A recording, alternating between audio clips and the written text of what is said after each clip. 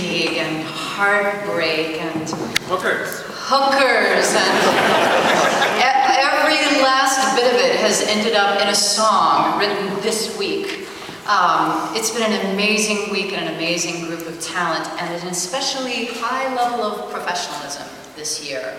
And uh, we decided that there was only one way to showcase them all sufficiently, and that was to bring the whole gang out for a rousing sing-along uh, another song written by one of our students, and uh, at the appropriate time, we're going to expect you guys to join in too, so get ready. Would you please welcome all of the participants in the 2010 Johnny Mercer Foundation Songwriters Workshop, and a song written by Melissa Rapp.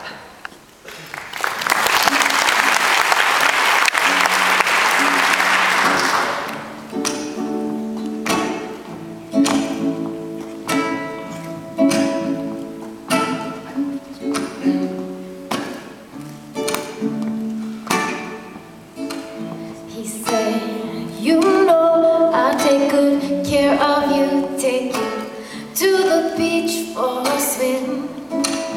Or first thing in the morning in my pool, don't need no swimsuit. Yeah,